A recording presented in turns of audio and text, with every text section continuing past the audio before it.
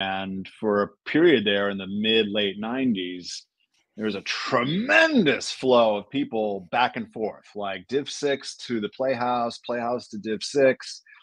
There was this it, kind it of became a it became a, a sales funnel. The Beverly Yeah. Hills Playhouse was kind of known as a sales funnel for Scientology.